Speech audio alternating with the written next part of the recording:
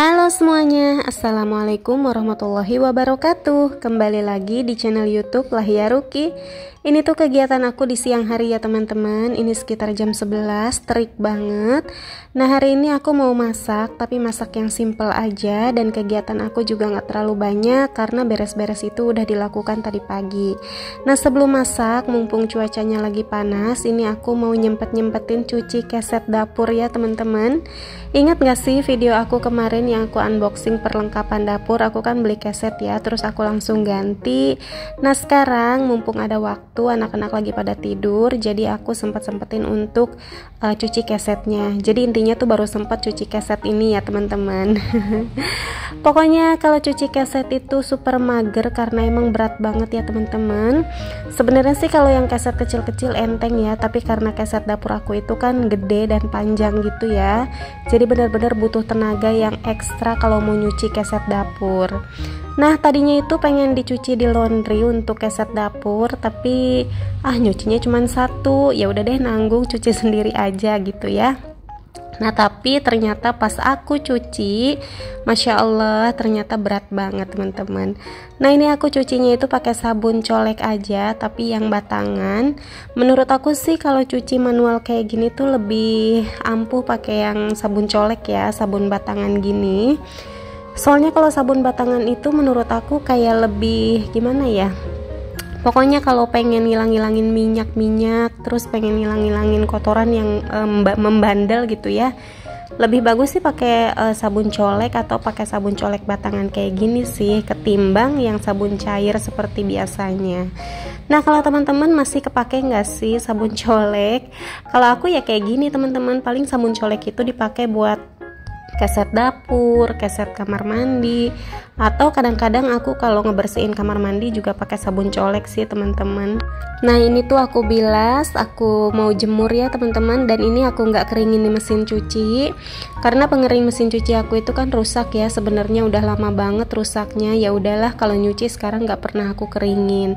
Nah keset dapur aku yang coklat ini nih teman-teman ini bagus banget dan ini tuh apa ya panjangnya itu hampir sekitar 2 meter dan ini bikin sendiri ya jadi di tokonya itu kita bisa custom ukuran seberapa kita pengennya ya udah kita tinggal bilang aja gitu. Nah untuk linknya nanti aku kasih di uh, di kolom deskripsi ya teman-teman ya. Nanti kalian tinggal klik aja. Kalau teman-teman mau pesen tinggal check out deh. Nah ini untuk nyuci nyucinya udah selesai dan ini aku mau beresin aja untuk baknya. Dan ini aku siram-siram juga ya semua area kamar mandi karena kalau nggak disiram bersih nanti lantai kamar mandi mandinya itu bakalan jadi licin ya teman-teman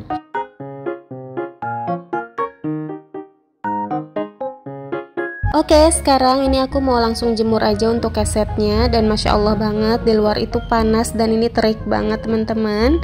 Dan ini tuh walaupun jemuran aku atau cucian aku nggak dikeringin ya pakai mesin cuci dan jemurnya itu setengah hari, tapi kayaknya sih sore bakalan uh, kering ini jemurannya. Padahal ini tuh keset ya teman-teman dan bener dong pas aku angkat sore itu uh, udah kering dan aku nggak videoin sih pas angkat jemurannya ya karena emang videonya itu cuman cukup sampai dengan masak-masak aja nanti. Nah ini untuk jemurnya udah hampir selesai dan habis ini aku mau langsung masak aja mumpung anak-anak masih pada tidur. Jadi nanti bangun tidur mereka udah bisa langsung makan.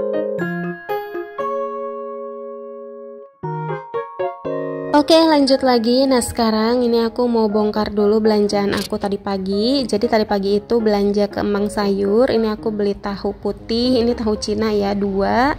Satunya itu 4000 jadi dua itu 8000 Terus aku beli daun kemangi 2000 Terus ini juga ada jamur. Jamur itu kalau nggak salah harganya 10.000 ya Daun bawang 2000 Terus itu juga aku beli tempe harganya 2500 Dan ini ada oncom.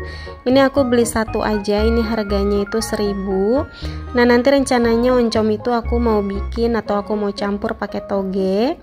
Nah untuk yang pertama ini aku mau marinasi dulu tempe sama tahu dan sekarang-sekarang ini aku nggak tahu kenapa lagi suka banget sama tempe. Tempe goreng yang digoreng kering gitu loh bukan mendoan ya teman-teman yang dipakein bumbu racik kayak gini. Pokoknya ini aku lagi seneng banget lah nggak tahu kenapa pokoknya lagi suka banget sama yang begini. Tahunya juga sama nah ini kan aku beli dua ya yang satu itu mau aku goreng biasa kayak gini terus yang satu lagi nanti aku mau bikin pepes Nah ini aku keluarin dulu ini perbumbuannya ya dari dalam kulkas. Nah ini kemarin itu aku beli daun pisang Aku beli dua pack gitu ya. Satu packnya itu harganya 2000an Nah ini aku mau ambil dulu untuk bumbu uh, apa bumbu pepes ya pepes tahu. Nanti mau dicampur sama jamur gitu Nah untuk bumbunya itu pakai bawang merah, bawang putih sama cabai Nah untuk bawang merahnya itu pakainya agak lebih banyak ya teman-teman. Nah aku kaget pas lihat ini saking jarang masak ternyata bawang merah aku udah ada akar-akarnya kayak gini teman-teman. Kalian kalau punya bawang merah yang udah berakar kayak gini dimasak atau enggak sih teman-teman Nah ini bumbunya aku kasih daun salam juga ya biar nanti wangi. Untuk bumbu pepes ini semuanya aku iris-iris nggak ada yang di ulek karena emang aku semager itu untuk ngulek ya teman-teman. Nah untuk bumbunya ini tuh cuman bumbu biasa aja Cuman pas nanti aku e, bikin pepesnya itu akhirnya cabai ini tuh nggak dipakai teman-teman karena aku takutnya anak-anak pengen makan terus dikasih cabai malahan pedes lagi. Nah langkah pertama ini tuh dihalusin dulu untuk tahunya terus aku campurin pakai jamur. Ini jamurnya tuh jamur yang kayak gitu ya udah aku cuci. Terus diperes juga biar nggak ada airnya dikasih telur satu butir biar biar lengket gitu ya. Sama ini ditambahin daun kemangi dan ini jadi wangi banget Nah untuk bumbunya itu ini ya kalian bisa lihat sendiri cuman bawang merah bawang putih cabenya itu nggak jadi seasoningnya cuman pakai penyedap rasa sama garam. Ini aja udah cukup ya. Jangan kebanyakan garamnya nanti kebanyakan malahan asin. Itu nggak enak. Nah kalau udah diaduk-aduk rata ini ditambahin sama kerupuk kayak gini ya. Sengaja ditambahinnya itu terakhir supaya nggak banyak-banyak banget gitu teman-teman. Nah ini diaduk-aduk aja. Dan aku juga udah siapin daun pisang Nah untuk daun pisangnya itu aku poles-poles dulu, aku semprot-semprot dulu pakai minyak goreng kayak gini ya. Sengaja aku pakai semprotan biar tangan itu nggak terlalu berminyak gitu ya. Dan ini daun pisangnya udah aku cuci ya udah aku keringin juga teman-teman. Jadi ini bersih banget. Nah ini dikasih kayak gini aja pokoknya seperti biasa ya. Kalau mau bikin pepes itu gimana sih caranya? Nah daun salamnya itu cuman dikasih seperti ini aja satu bungkus satu daun salam Nah bungkusnya itu kayak gini aja ya teman-teman. Gak usah pakai tusukan gigi atau gak usah di staples. Kayak gini aja udah uh, kenceng kok teman-teman. Udah ada yang pernah bikin tahu pepes seperti ini gak sih teman-teman? Boleh komen ya di kolom komentar. Karena ini tuh rasanya enak banget Dan ini mantul banget. Anak-anak aku juga suka banget sama tahu pepes ini. Ini tuh kayak resep warisan dari nenek aku sih. Jadi aku taunya itu dari nenek aku Nah ini udah aku panasin ya untuk kukusannya. Ini airnya udah mendidih langsung aja dimasukin ke ke panci kukusan. Ke area salah ngomong ke panci kukusan. Nah seperti ini ya teman-teman. Nanti dikukus sekitar 25 menit sampai dengan 30 menit itu udah mateng Oke ditunggu sebelahnya. Ini aku masak tempe dulu ya teman-teman. Ini sat sat sat sat cepet-cepet aja pakai dua tungku supaya masaknya cepet. Takutnya dede Edgar sama Kai itu keburu bangun ya teman-teman. Soalnya kalau udah bangun tidur itu rempong nangis-nangis ya pokoknya kayak gitulah. Nah ini tempenya aku masak cuman segini. Terus nanti tahunya juga aku masak cuman sedikit.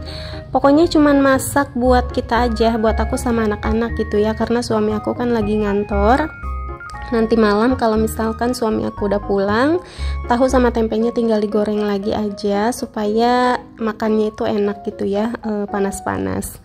Oke okay, untuk masakannya udah selesai ini alhamdulillah ini nikmat banget.